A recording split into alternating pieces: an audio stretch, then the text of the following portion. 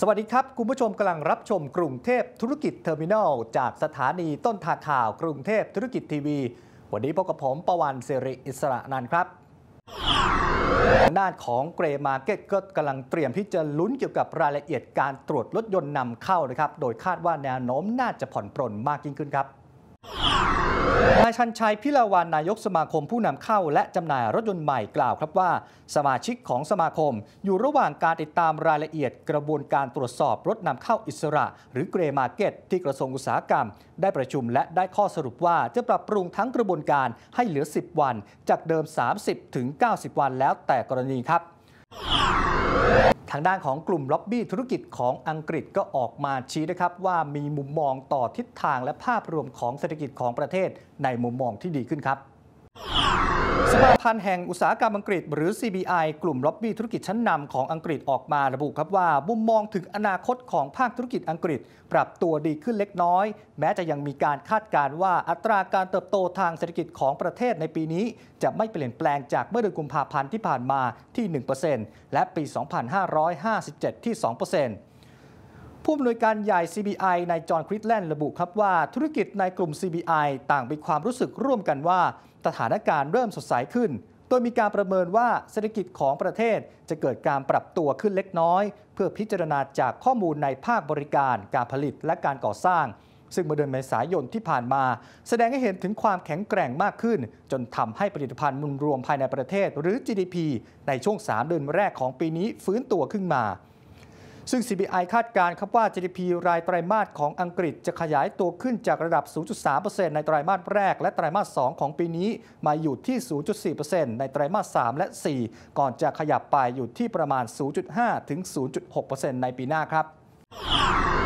ฐานะของรัฐบาลเยอรมนีนะครับก็ออกมาระบุว่าต้องการให้ชาติในกลุ่มยูโรโซนที่ประสบกับภาวะวิกฤต ปฏิรูประบบเศรษฐกิจ และใช้มาตรการรัดเข็มขัดมากยิ่งขึ้นครับ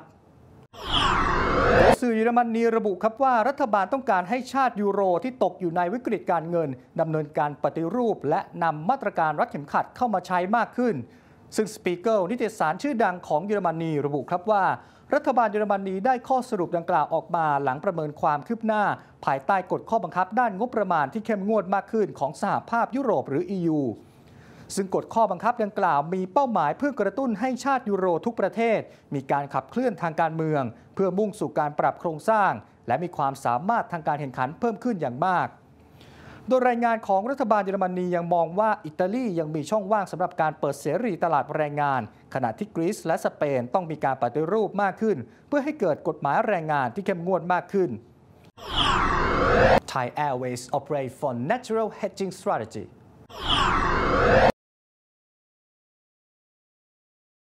Thai Airways International is resorting to a natural hedging strategy to mitigate foreign currency fluctuation amid realization that it may suffer foreign exchange losses despite the big forex gain of 6 billion baht in the first quarter.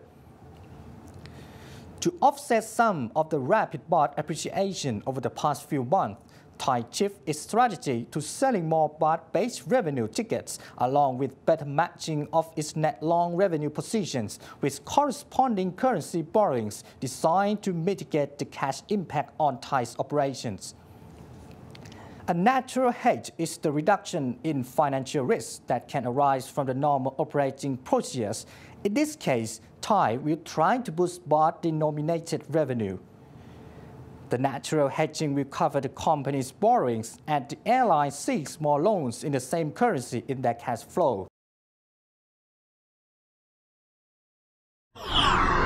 คือทั้งหมดของกรุงเทพธุรกิจเทอร์มินอลในวันนี้นะครับ จากกรุงเทพธุรกิจทีวี ทีวีธุรกิจเต็มรูปแบบแห่งแรกของไทย สวัสดีครับ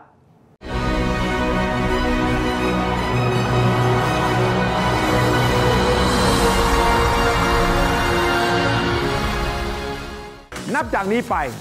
เราจะทำให้ไม่มีประเด็นเศรษฐกิจใด เกินความเข้าใจของคนไทยอีกต่อไป โปรดติดตามเราครับกรุงเทพธุรกิจ